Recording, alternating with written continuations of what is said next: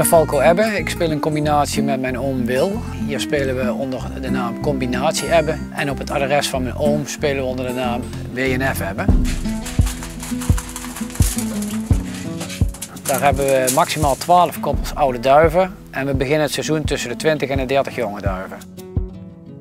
Op mijn adres uh, spelen we onder de naam Combinatie Ebbe. Ik kan hier maximaal 16 koppels oude duiven kwijt op een hokje van anderhalve meter breed. En ik begin ook het seizoen met tussen de 20 en de 30 jonge duiven. Ja, 2021 was een fantastisch jaar. Tweede nationaal kampioen Vitesse, 14e nationaal kampioen Jonge Duiven en 11e beste liefhebber Wie heeft ze beter. Nou, daarnaast hebben we dus 11 eh, verschillende teletext-noteringen behaald en 5 eerste prijzen in groot verband, waaronder twee afdelingsoverwinningen. De duiven die voor de mooiste prestaties verantwoordelijk zijn, ja, dat zijn onder andere Prins Siem. Die duif die vloog bij me om van Melun, de eerste in de afdeling. Was een prachtvlucht met tegenwind.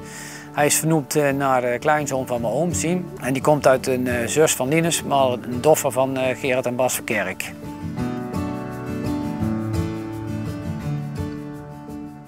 De volgende overwinning kwam vanuit Vierzon. Toen vloog onze Piet hier de eerste in de regio en die was op dat moment de derde in de afdeling. Was een moeilijke vlucht, een ravenloop. Maar toch trots dat die duif eh, zo vroeg kon vliegen op die dag. Nou, dat is, eh, Piet is een, eh, een zoon van Icarus Keradenna, topkoppel. En die vloog als jonge duif, vloog Piet ook al in de eerste tien van de afdeling.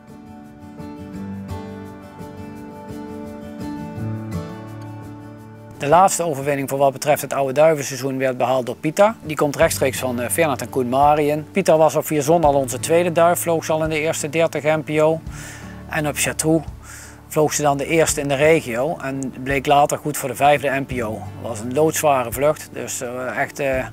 Echt prachtig om, uh, om zo'n overwinning te kunnen behalen. En Pieter was al een goede duif, want ze vloog dus op Vierzon al, was het al de tweede duif op het hok. En als jonge duif vloog ze al in de eerste tien van Dizzy Le in de afdeling.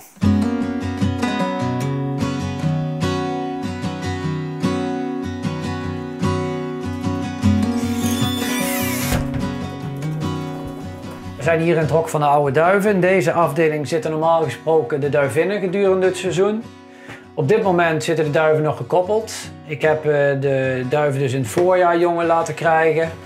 Nou ja, toen hebben ze op wetenschap gevlogen. En op de natoer hebben ze weer een nestje gekregen. En vervolgens heb ik ze nog een keer laten leggen. En toen heb ik ook de jonge duiven die ik over heb eh, aangekoppeld. Dus op dit moment zit mijn hele team voor 2022 zit in het hok. Het is nu bijna oktober. Ja, een aantal duiven beginnen al te ruien. Een aantal duiven zitten nog strak. Maar ik ga ze vandaag of morgen uit elkaar halen. En dan kunnen ze lekker uh, gescheiden de winter in. Bijkomen, uitruien. En uh, tegen die tijd dat ik ze ga koppelen, ja, dan is het heel eenvoudig. Dan hoef ik eigenlijk alleen maar de deur open te zetten. En alle duiven zullen naar hun eigen bak vliegen. De duivinnen, want de doffers die blijven gewoon hier deze winter. Ja, zoals je ziet, ik heb hier uh, 16 broedbakken. Het is maar een hokje van anderhalve meter, dus ja, de bakjes zijn maar 33 centimeter breed en ongeveer 60 centimeter diep. Maar ja, je ziet, uh, ook als kleine liefhebber uh, kun je de ruimte optimaal benutten. En ja, met de prestaties, die hoeven er niet echt onder te lijden, want ook met, weinig duiven kun je tegen de grote mannen opboksen. Maar ja, je, je moet natuurlijk wel kwaliteit hebben, want met, slechte duiven kom je er niet.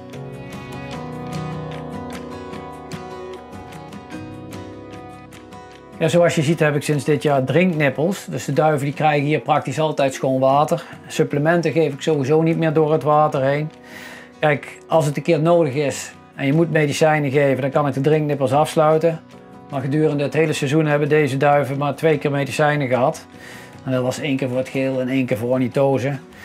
Dus ja, dat is op een heel seizoen uh, te verwaarlozen eigenlijk. Vanaf april tot en met september. En het bevalt me uitstekend. Uh, die drinknippels hebben altijd vers water. En je hebt er eigenlijk geen omkijken naar. We hebben het seizoen stijl afgesloten. In het laatste weekend uh, vervlogen we Molencourt en Sans. En dat was een jonge duivlucht en een natoervlucht. En beide hebben we een overwinning behaald, waarvan Molencourt ook nog een provinciaal verband. Nou, dat was natuurlijk een prachtprestatie. Molenkoer die werd geleverd door Paulina, eigenlijk onze beste jaarling. Duif die is 19e beste jaarling van Nederland geworden in de competitie, de allerbeste. Duifkampioen van de regio. Paulina vloog dit jaar vier of vijf prijzen 1 op 100. Dus een geweldige duivin die haar afstamming nog Indy en Roosje heeft zitten. Onze beide stammoeders. Ja, op Sans uh, vloog de 657, de eerste, een jonge duivin. En dat is nog een dochter van, uh, van onze Evolution, 12 jaar oud. Maar je ziet wel, ook duiven van 12 jaar kunnen nog goede geven. Gekoppeld aan Kurt en dat is een zoon van Hannibal Indy.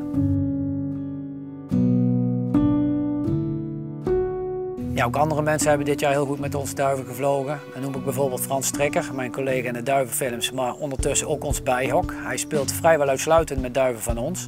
Nou, die man die heeft dit jaar 16 keer meegedaan met de oude duiven. En hij stond 12 keer bij de grootmeesters. En dan moet je bedenken dat hij eh, het hele seizoen zowat heeft afgewerkt met slechts 10 duivinnetjes. Dus dat is echt heel bijzonder. Hij vloog een eerste in de afdeling, de laatste natourvlucht. Een paar weken eerder vloog hij al een eerste in afdeling Noord. Ja, die man heeft vier eerstes in eh, groot verband behaald dit jaar. En ja, in mijn ogen was hij dit jaar een van de, ja, van, van de beste rokken van heel Nederland.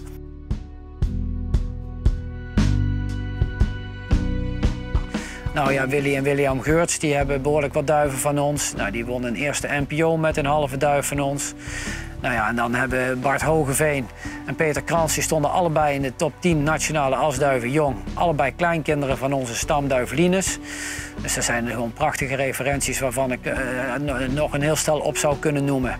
Ja, en ook op de eenhoogsraces zijn onze duiven succesvol geweest. De eerste en de vierde asduif in Derby Arona zijn van ons soort. Uh, die duiven stonden ook allebei in de top 10 van de finale. Eén won een hotspot race, dat was dan, die duif was van Gerrit Knol. Nou, die andere was van Monique Nijs.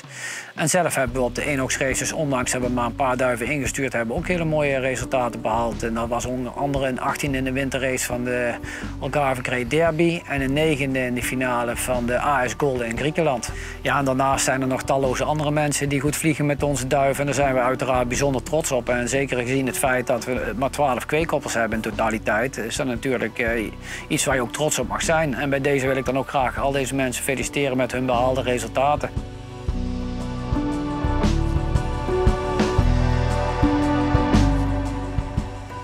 Ja, ja, onze ambitie voor volgend jaar. Ja, Willy zegt altijd, ik wil eerste prijzen winnen.